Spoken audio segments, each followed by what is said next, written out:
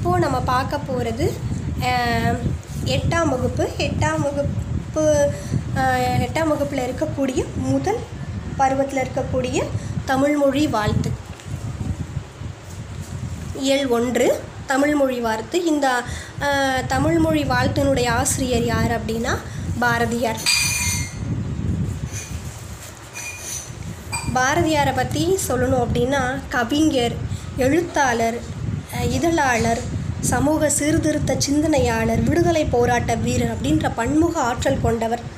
இவர் இந்தியா விஜயா இந்த மாதிரியான இதழ்களை நடத்தி விடுதலை போருக்கு தன்னுடைய கவிதைகள் மூலமாக மக்களுடைய உணர்ச்சிகளை தூண்டியவர். க சந்திரையின் கதை தராசு இந்த மாதிரி உரைநடை நூல்களையும் இவர் எழுதியிருக்கிறாரு. வசன கவிதைகளையும் சீட்டு கவிதைகளையும் எழுதியிருக்கிறாரு. ஆனால் இவர் வந்து நாடகம் எழுதலை.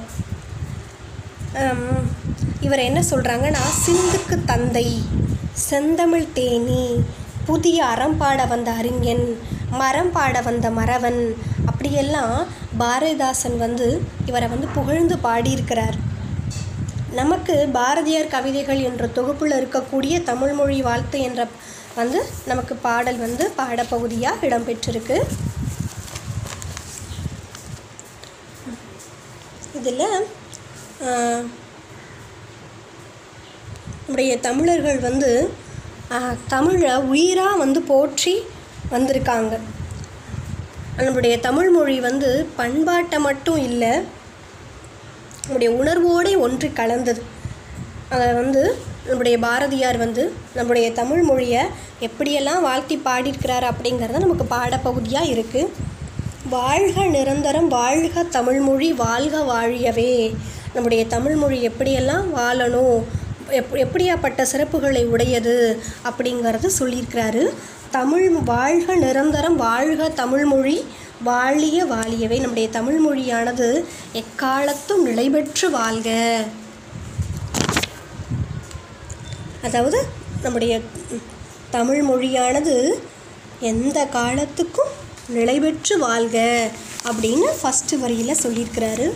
வானம் வளர்ந்தது அனைத்தும் அளந்திடு வானம் வளர்ந்தது அனைத்தும் அளந்திடு வன்மொழி வாழிய வாழியவே.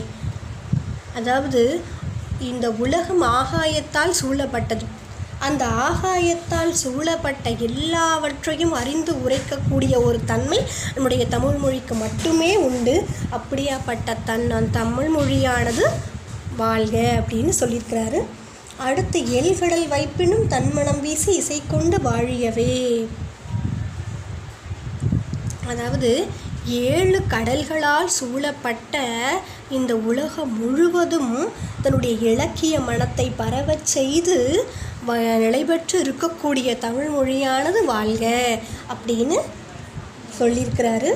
அடுத்து எங்கள் தமிழ்மொழி எங்கள் தமிழ்மொழி என்றென்றும் வாழியவே. அப்படியாப்பட்ட எங்களுடைய தமிழ்மொழியானது என்றும் நிலைபெற்று வாழணும் அப்படின்னு தமிழ்மொழியை வந்து புகழ்ந்து சொல்லியிருக்கிறாரு.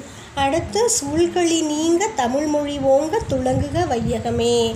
சூழ்களி அப்படின்னா அறியாமை நீ இருள்னு அர்த்தம். சூழ்களினா சூழ்ந்துள்ள அறியாமை இருள்.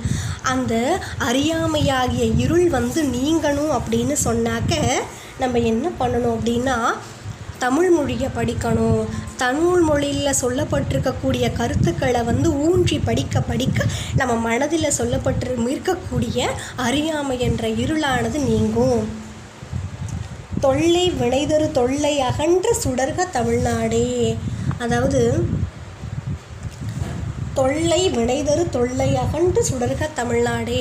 நம்முடைய தமிழ்நாடு வந்து பார்த்திங்க அப்படின்னா பழமையான கருத்துக்களையால் பழமையான கருத்துக்களால் என்னென்னா மக்கள் வந்து அந்த அந்த கருத்துக்களால் வந்து ஈர்க்கப்பட்டு பல மூட பழக்க வழக்கங்களை பின்பற்றிட்டு இருந்தாங்க. ஆனால் அந்த அந்த வந்து அதெல்லாம் வந்து தவறு. அந்த அப்படின்னு சொல்லி நம்ம துன்பத்தை நீக்கக்கூடிய ஒரு மொழி தான் என்னன்னா நம்முடைய தமிழ் மொழி. அத்தகைய மூட பழக்க வழக்கங்களை ஒழித்து அறியாமையா என்றும் சொல்லப்படக்கூடிய இருள் நீங்கும் வண்ணம் மக்களுடைய மனசில் இன்பத்தை தரக்கூடிய ஒரு மொழியானது தமிழ் மொழி. அத்தகைய தமிழ் மொழியானது வாழ்க அப்படின்னு அடுத்த வரியில் சொல்லியிருக்கிறாரு வாழ்க தமிழ்மொழி வாழ்க தமிழ்மொழி வாழ்க தமிழ்மொழியே அப்படியாப்பட்ட தமிழ் மொழியானது வாழ்க வாழ்க என்றென்றும் நிலைவற்று வாழ்க அப்படின்னு சொல்லியிருக்கிறாரு. வானம் அறிந்த அனைத்தையும் அறிந்து வளர்மொழி வாழ்கவே. அதாவது வானம் வரை உள்ளடங்கியுள்ள எல்லா பொருண்மலைகளையும் பொருண்மைகளையும் அறிந்து இந்த தமிழ் மொழியானது மென்மேலும் வளரணும். அப்படின்னு சொல்லி தமிழ் மொழியினுடைய சிறப்பை தமிழினுடைய பெருமைகளை நமக்கு வந்து பாரதியார் வந்து தமிழ்மொழி வாழ்த்து என்ற ஒரு நூலில் வந்து நமக்கு வந்து சொல்லியிருக்கிறாரு.